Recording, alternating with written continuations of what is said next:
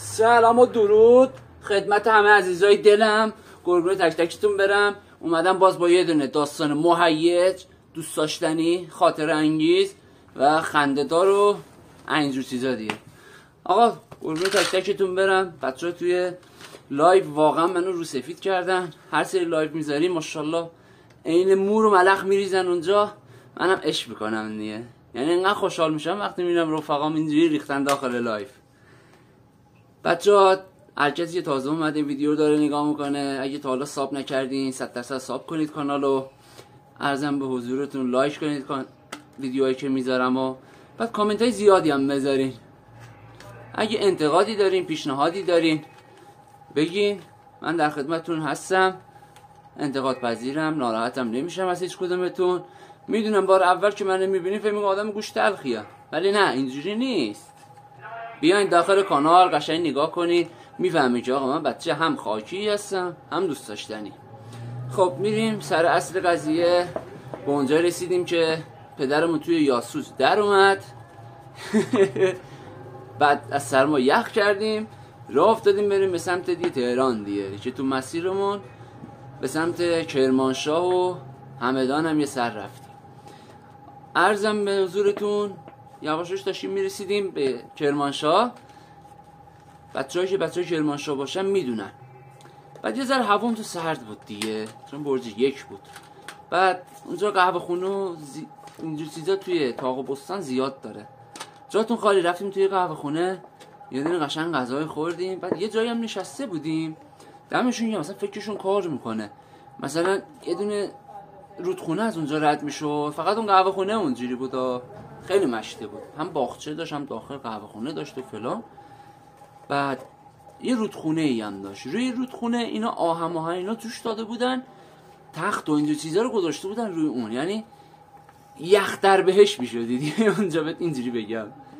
آقا نشستیم اونجا جاتون خالی. دیزیه رو زدیم به بدن و گفتیم یه قلیون بیاره قلیون هم که آورد. قبل اینکه قلیون بیاره ما سیگارمون رو کشیدیم بعد حال می‌کردیم. مثلا آب از زیر پامون رد می‌شد. دیدی سیگار میشیم مینداختیم تو آب؟ آب می‌برد کیف می‌کردیم.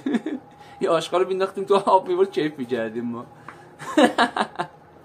ما ما کیف می‌کردیم. دیگه هر کی پایین بود فشمون می‌داد. آقا خلاصه.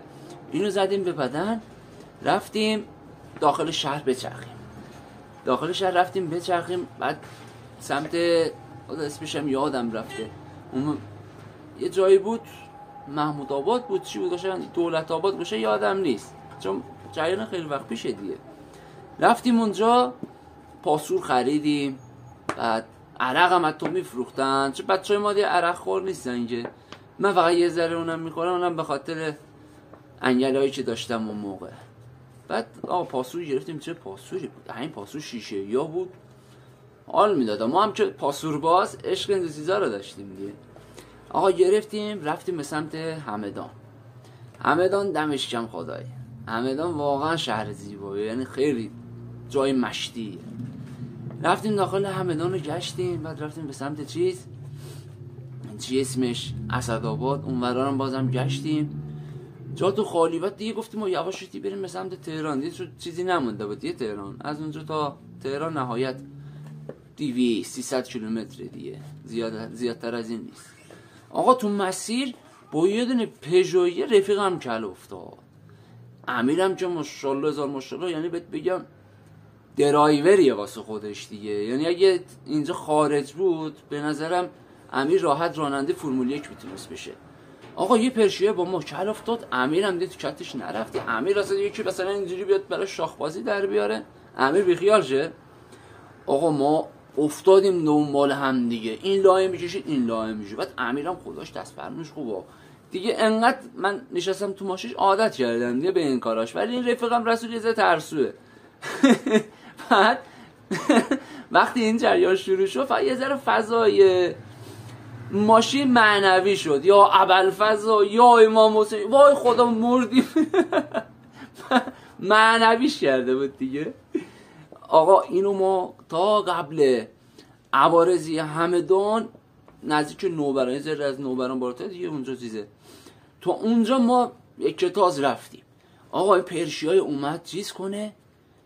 اومد مثلا از ما سبقت بگیره این ور اون ور کرده همون رو چیز کرد. یه لب زهر در کونه یه دونه پرایده پسر ما رو میگی؟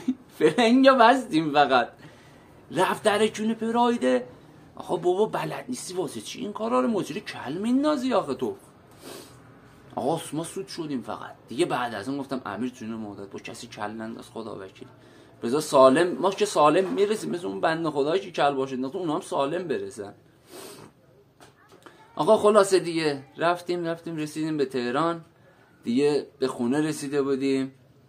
ولی این داستانمون فعلا اینجا دیگه تموم میشه. این جریان رفتن به جنوب برگشتنمون بود. فکر کنم تو پارت چهار تا پارت شد. پارت های قبلی شاید کی نیده لینکشو صد درصد اینجا من می‌ذارم. بری اونا رو هم نگاه کنی اونا رو نگاه کن جریان این داستانمون رو از اولش دیگه دستتون میاد. یه چطور شده؟ آره انشالله حالا خاطرات دیگه هم دارم. به سمت به سمت ساری و اینجور جاها میریم. اونا رو هم براتون تعریف کنم عشق منی. فدای تک تکتون. همه رو دوست دارم و همه رو. یعنی فرق نمی‌ذارم بینتون. آقا چی می‌خواستم بگم؟ یادم رفت. مشکلات دیالوگ ننوشتن همینه دیگه. بچه تو رو خدا فقط بهتون دیگه سفارش نکنم. sub کنید کانالو.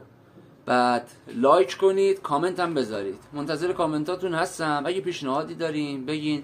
بعد به بچه ها توی live عرض کردم که آقا هر کسی ایده ای داره می‌تونه توی تلگرام یا اینستاگرام به من پیام بده. از ایدهش استفاده می‌کنیم. انشالله کانال به درآمد که رسید از ایدهش استفاده می‌کنیم. هر چقدر درآمد داشت اون ایده 20 الا 30 درصد از درآمد خالصش بدون مالیاتش. به خودش من میدم. پس همه جوره بچه چون من ایده پرداز ندارم همه جوره اگه با من کسی بخواد کار کنه تو کار ادیت و نمی‌دونم توی ایده پردازی و اگه ادمینی بلده خودشو معرفی کنه توی تلگرام به پیام بده. من همه در خدمتش هستم. آه من حق کسی هم نمی‌خورم. هر کسی دوست داره با من کار کنه بسم الله. فداتون بشم مثل همیشه جیبتون پرپول لباتون خندون همیشه خوشحال باشید.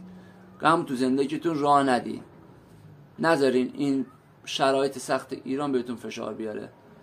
تا درودی دیگر به درود.